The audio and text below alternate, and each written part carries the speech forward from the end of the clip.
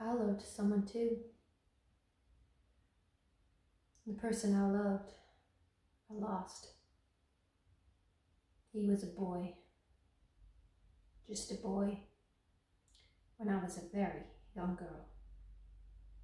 And at 16, well, I made the discovery love.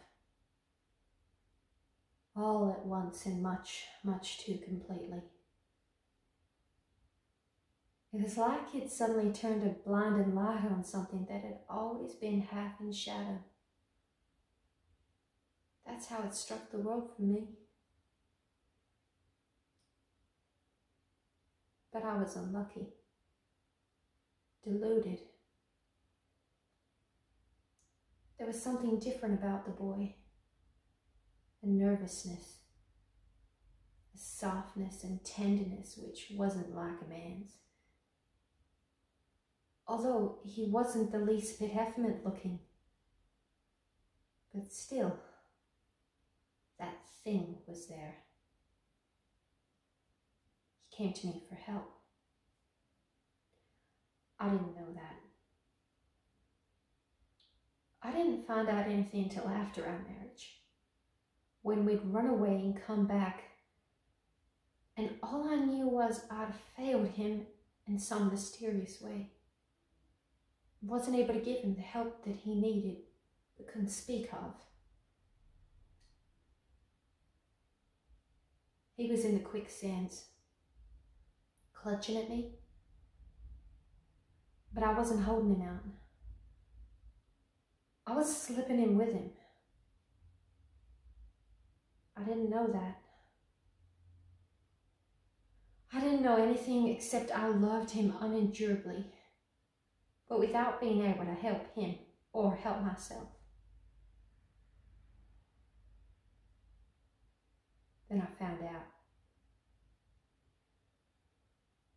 In the worst of all possible ways. By coming suddenly into a room which I thought was empty, which wasn't, but had two people in it. The man I'd married, and an older man which had been his friend for years. Afterwards, we pretended nothing had been discovered. You know, we all drove out to Moon Lake Casino, all three of us. You know, very drunk and laughing all the way. We danced the Varsouviana.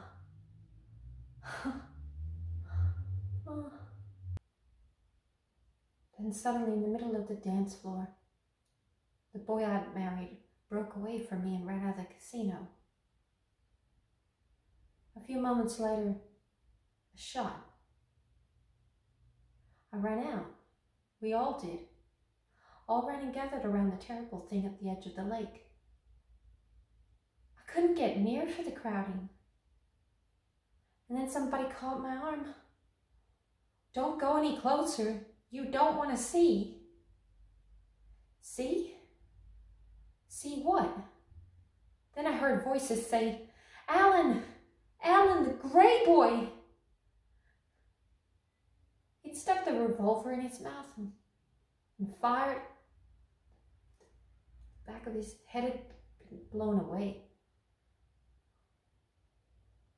And then the searchlight, which had been turned on the world, was turned off again.